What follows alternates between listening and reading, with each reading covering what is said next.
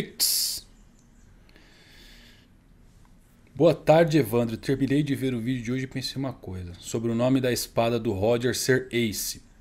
Parece uma coisa boba, de tão simples. Mas e se não for? E se a espada do Roger fosse... se a espada do Roger fosse realmente o Ace? De alguma forma o Ace pode ter se transformado de espada. Eu só queria fazer um vídeo de pergunta e resposta e virou isso. Pix de um centavo, mestres do pobretismo. Teorias do Ace ser uma... Bom, e aí galera, como é que vocês estão? Espero que todos vocês estejam maravilhosamente bem. Que dia que é hoje?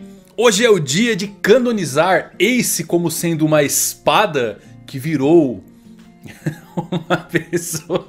Quer mandar suas perguntas para aparecer aqui no vídeo? É simples, não precisa mandar pix. Os links estão aqui na descrição. Vai para os posts lá, deixa a sua pergunta. Esse é o SBS, seja bem-vindo. Se você quer me dar uma forcinha legal, compre alguma coisa na minha lojinha. Só rolar para baixo aqui você já vai ver camiseta, quadro. Você vai me dar uma força bem legal aí, tá bom? Galera, é isso. Vamos lá tirar essas dúvidas duvidosas.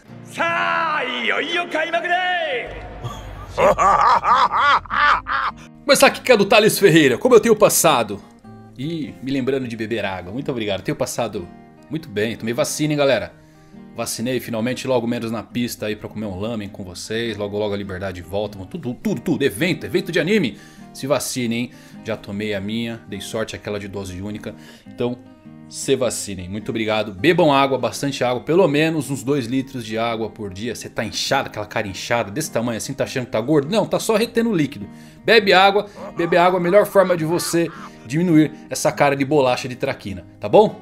Bruno S. Sobre a criação de conteúdos para o YouTube. Como eu lido com o bloqueio criativo. Hashtag rumo a um milhão. Oh, logo logo um milhão. Tatuagem do Kaido Capenga chegando. Vou acabar fazendo esse demônio. É uma excelente pergunta. Como lidar com isso? Para quem quer se aventurar ou quem já se aventura na criação de conteúdo principalmente para o YouTube, uma hora ou outra você vai se ver preso no limbo chamado bloqueio criativo. O que, que é isso? É você não ter uma ideia para fazer um vídeo. Como que eu lido com isso? De uma forma bem simples. Se eu não tenho pauta, eu não faço vídeo. Eu não cheguei nesse ponto ainda porque eu meio que criei uma programação e uma rotina para o meu canal. Vocês podem ver, segunda é review do episódio do anime, terça um vídeo de One Piece, quarta Hunter x Hunter, Jujutsu, Boku no Hero, uma outra série, quinta SBS, sexta review de capítulo. Então eu criei rotinas que eu sei que dificilmente vão ter algum problema dessa parte de bloqueio criativo. Talvez o dia mais difícil, obviamente, é na terça, quando eu tenho que trazer uma coisa nova. E na sexta, quando não tem capítulo. Fora isso, cria-se rotinas para lhe deixar confortável na criação de conteúdo. Bloqueio criativo, não sabe o que fazer? Não faz. Não faz. Relaxa, tira seu dia de folga não se preocupa com números. Vai vir, no decorrer do dia vem, você pode preparar esse vídeo para soltar em um dia que você, a exemplo, é, não soltaria. Ah, hoje é quinta-feira, eu não sei o que fazer. Não faz. Vai pensando, vai pesquisando, prepara esse vídeo e solta no sábado. Vai ser bem melhor para você, sem correria, sem pressa, não se cobre demais.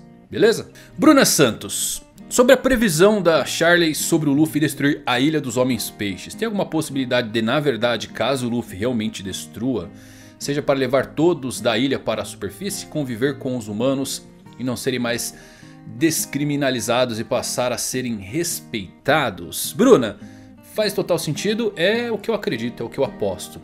Pode acabar não sendo o próprio Luffy que destrua a ilha, porque lá aparece a silhueta de um homem com um chapéu de palha e temos um novo chapéu de palha na jogada, que é o chapéu de palha gigante. Que eu gosto de falar que vai acabar na cabeça da Shira Roxa, aquele chapéu de palha, seria muito legal faz sentido Shirahoshi destruir a ilha. Como é que essa ilha pode acabar sendo é, devastada, destruída? Por conta da árvore Eva. A árvore Eva leva a luz do sol para a ilha. Olha só, Nika, Deus do Sol, muita ligação legal, né? E está bem acima, ali ligada, conectada diretamente ao Redline. Então Redline sendo destruída, a árvore consequentemente também pode acabar sendo destruída. E ela cai ali com os destroços devastando toda a ilha dos homens peixes. E faz muito sentido que sim, ela seja destruída quando for para salvar todos e One Piece, a maior festa do mundo, onde eles podem comemorar. Noah está ali com toda certeza para levar os homens peixes para um outro lugar. Né? Eu sempre gostei da composição do mapa de Wano, o controle, o joystick. Como parece faltar uma parte e consequentemente essa parte deve ser a ilha de Zou. Que está numa caminhada eterna, Zunisha, todos sabem. E eu duvido que o Momo não mandou o Zou ir pra lá. Por que também não ser o lugar para onde os homens peixes deveriam ir, né? Começar a reunir realmente todas as raças. Por que o ano é tão importante para a chegada de Joy Boy? Para realmente começar essa união, começar a se formar One Piece. Tô totalmente com você, é o que eu acredito. Que se Luffy estiver envolvido na destruição da Ilha dos Homens Peixes é apenas para acabar com a discriminação que essas pessoas passam e para salvar elas. Galera gostou do Zoro do nível 5 espadas, né? Muito legal, né? Tem uma, um desenho, eu vou colocar aqui para vocês. Eu achei fenomenal esse desenho, que é o Luffy, o Sanji e o Zoro mais velho. É belíssima essa arte. Sério, isso aqui é muito legal. O Luffy parecendo o Garp, o Sanji parecendo uma mistura de Judge com Zef. E o Zoro com 5 espadas. Como é que o Zoro lutaria utilizando 5 espadas? Bom, é o Zoro, ele usa uma espada na boca, então possivelmente ele usaria duas em cada mão, fazendo hélices, e a outra ainda continuaria na boca. Como é que o Zoro vai ter essas espadas? Vai conseguir das 12? 5 espadas das 12 com o Zoro? Imagina o Zoro com a Yoru na boca. a espada, a espada parece um, um poste, como é que ele vai pôr aquilo na boca? Mas pode acontecer, né? Eu, sabe o que eu acho legal, galera? Vou até colocar aqui pra vocês. Dessa coisa do Zoro é muito maneira, mas a do Luffy... Talvez muitos não tenham notado, mas o Luffy 40 e 60 anos, independente de dar certo ou não, ele tá sem o chapéu de palha. E o Oda ele não desenha as coisas por acaso. Então grandes indícios que o Luffy vai passar o chapéu de palha para alguém sim. As grandes apostas é pro filho do Shanos, Saint Shanos. o filho da Makino-san, que parece ser filho do Shanks, né? O Oda disse que é filho de um certo homem. Oh, certo homem. Quem que visitou o East Blue ali do nada? Foi comprar cigarro lá no East Blue? Foi o Shanos, nosso nobre mundial, acompanhado do seu almirante Ben Beckman. SK Pen Mihawk tem Haki do Rei, já que ele usa aquele ataque verde que ele mandou lá em Marineford e é um pouco como o ataque do Roger que atingiu o Oden. Meu amigo Pen, vamos lá. Aquilo, na verdade, é Ryu-Oh, tá bom? Só que na combinação das tonalidades com o Haki do Rei, o Roger conseguiu evitar o contato com Oden e por isso Oden foi lançado longe. Mas somente Ryu-Oh faz aquilo, o Haki do armamento no caso projetado no fluxo da espada. O Zoro já fez e o do Mihawk cortou, você pode ver que ele cortou o iceberg. Então naquele ponto era somente o Ryu-Oh. Eu tô falando dessa projeção de espada como Ryu-Oh mas é o que eu penso que era e não que é, tá bom galera? Não é confirmado nem nada, então é, é só uma interpretação que eu tenho para explicar como é que espadas dis disparam lasers. É o Ryu-Oh projetado. Agora do Roger tem essa questão, vocês podem ver que não encosta no Oden. É uma mistura, o cara, o Roger deve ser um monstro e o Shanks deve ser a mesma coisa. Pra conseguir usar isso na espada. Vocês podem ver que não, não encosta. Mihawk ele naquele ponto não usou Haki do Rei. Ele pode ter Haki do Rei? Porra, faz total sentido. O cara é o maior espadachim do mundo. O cara lutava com Shanks. O Mihawk é um, é um monstro, né? Felipe Henrique, já ouviu falar sobre o sobrenome desse ser dividido entre Down, Amanhecer e Dusk? Anoitecer ou Pôr do Sol? Seria o motivo pro Barba Branca falar sobre o Tite não ser o D que o Roger esperava? Olha só, Felipe. Já ouvi, o D tem diversas apostas de ser Down, Dusk, Devil. Mas não acho que seja por esse motivo. Eu creio que foi uma interpretação do Barba Branca pelos feitos do Barba Negra. Porque ele sabe o significado do D, obviamente. O Roger contou pra ele. Mas eu creio que é por conta dos atos do Barba Negra. Pode acabar tendo essa divisão? Pode. Faz bastante sentido. Sabe por quê? Eu vou falar uma coisa pra vocês bem legal.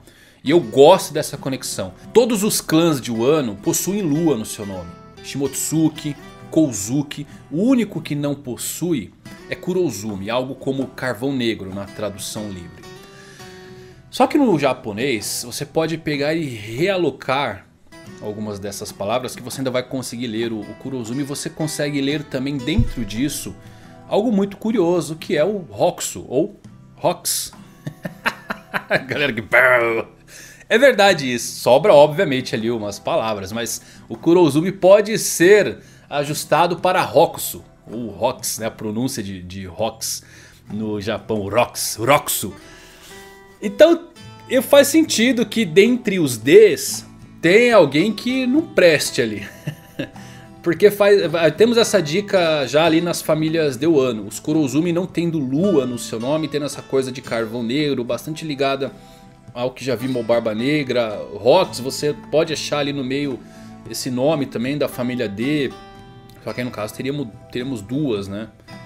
Eu tô bem curioso para saber como é que fica essa divisão. O Sol é muito maneiro, porque tem um gigante como um D. Será que teremos outras raças?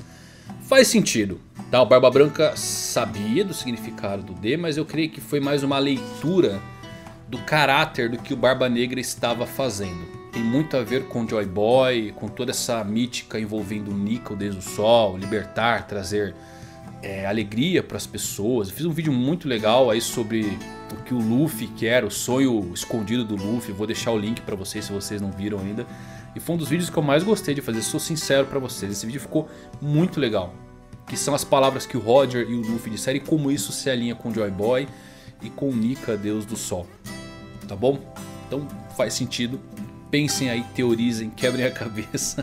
O João Victor mandou uma pergunta que eu recebo muito, muito. É aquelas perguntas que a galera quer bugar a Matrix. Se alguém comer a Yomi Yomi no Mi, a fruta da ressurreição, e depois comer uma outra fruta, o que acontece? É bem simples a resposta, na verdade.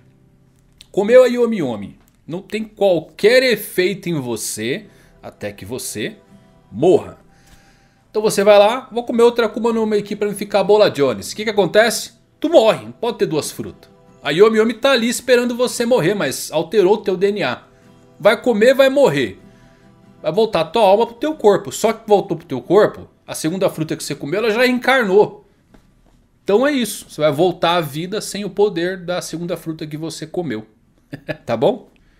Vamos lá, Vini007. Digamos que foi o Oda mesmo que escolheu o nome da espada do Roger como sendo Ace. Então foi um furo de roteiro o Shanks não ter deduzido que Ace era o filho do Roger quando Ace foi ao seu encontro? Ô Vini, não é. Existem diversos Aces, o mundo é enorme, é como o Sabo. O Sabo tinha uma recompensa ativa.